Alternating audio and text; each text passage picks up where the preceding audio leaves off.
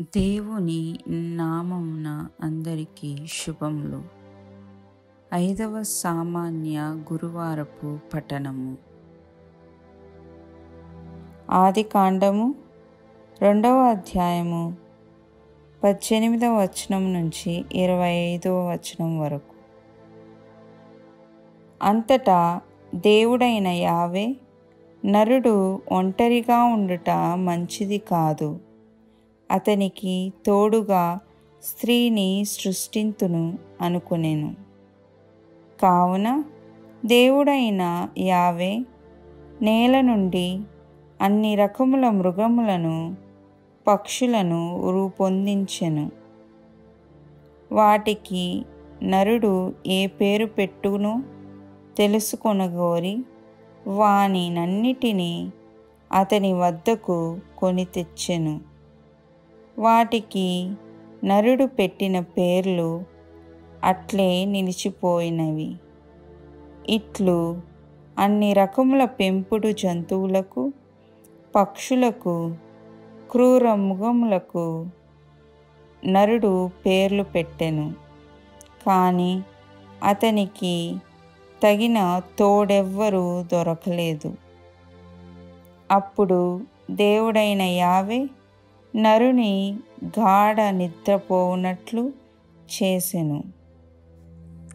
అతడు నిద్రపోవునప్పుడు ఆయన అతని ప్రక్కటెముకనొక దానిని తీసి ఆ చోటున మరల మాంసముతో పూడ్చెను. తాను నరుని నుండి తీసిన ప్రక్కటెముకను స్త్రీగా రూపొందించి దేవుడైన యావే ఆమెను అతని వద్దకు తోడ్కొని వచ్చెను. అప్పుడు నరుడు చివరకు ఈమె నా వంటిదైనది. ఈమె నా ఎముకలలో ఎముక నా దేహములో దేహము. ఈమె నరుని నుండి రూపొందినది. కావున నారి అనెను. కావుననే నరుడు తన తల్లి తండ్రులను విడనాడి ఆలిని హత్తుకొనును. వారిరువరు ఏక శరీరులగుదురు. అప్పుడు ఆ స్త్రీ పురుషులిద్దరూ దిగంబరులుగా నుండిరి. అయినను వారికి సిగ్గు వేయలేదు. ఇది ఏళ్ళవారి వాక్కు సర్వేశ్వరునికి వందనముకు సర్వేశ్వరునికి వందనములు. వారి వాక్కు సర్వేశ్వరునికి వందనములు. భక్తి కీర్తన. అందరూ ప్రభువు పట్ల భయభక్తులు చూపు నరులు ధన్యులు. ఈనాటి సువిశేషం పునీత యోహాను గారు రాసిన సువిశేషము రెండవ అధ్యాయము ఒకటవ వచనము నుండి పదకొండవ వచనము వరకు. రెండు దినములు గడిచిన పిదప గలిలియాలోని కానాపల్లెలో ఒక పెళ్ళి జరిగెను. యేసు తల్లి అచట ఉండెను. యేసు ఆయన శిష్యులను ఆ వివాహమునకు ఆహ్వానింపబడిరి. అచట ద్రాక్షారసము తక్కువ పడగా యేసు తల్లి వారికి ద్రాక్షారసము లేదు అని ఆయనతో చెప్పెను. అమ్మా అది నాకేమి నీకేమి? నా గడియ ఇంకను రాలేదు అని యేసు పలికెను. ఆ తల్లి సేవకులతో ఆయన చెప్పినట్లు చేయుడు అనెను.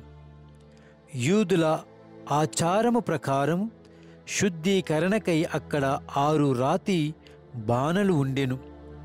ఒక్కొక్క బాణలు రెండు మూడు కడవల నీరు పట్టును. ఆ బాణలను నీటితో నింపుడు అని యేసు వారికి చెప్పెను. అట్లే వారు వానిని అంచుల వరకు నింపిరి. అంతటా ఆయన మీరు ఇప్పుడు విందు పెద్ద ఎద్దుకు కొంచెము ముంచుకొని పొండు అని చెప్పగా వారు అట్లే తీసుకొని పోయిరి. విందు నడిపడి పెద్ద ద్రాక్షారసముగా మారిన ఆ నీటిని రుచి చూచెను. అది ఎక్కడి నుండి వచ్చినో అతనికి తెలియదు. ఆ నీరును తెచ్చిన సేవకులకు మాత్రము అది తెలియను. కనుక అతడు పెండ్లి కుమారుని పిలిచి ఎవడైనను మొదట శ్రేష్టమైన ద్రాక్షారసమును ఇచ్చును. అందరూ మత్తుగా త్రాగిన పిమ్మట తక్కువ రకము రసమును ఇచ్చును. కాని నీవు శ్రేష్టమైన ద్రాక్షారసమును ఇప్పటి వరకు ఉంచితివి అని పలికెను. ఈ విధముగా యేసు గలిలియాలోని కానా అను పల్లెలు తన మొదటి అద్భుతమును చేసి తన మహిమను ప్రదర్శించెను. శిష్యులు ఆయనను విశ్వసించిరి. ఇది క్రీస్తు సువిశేషము.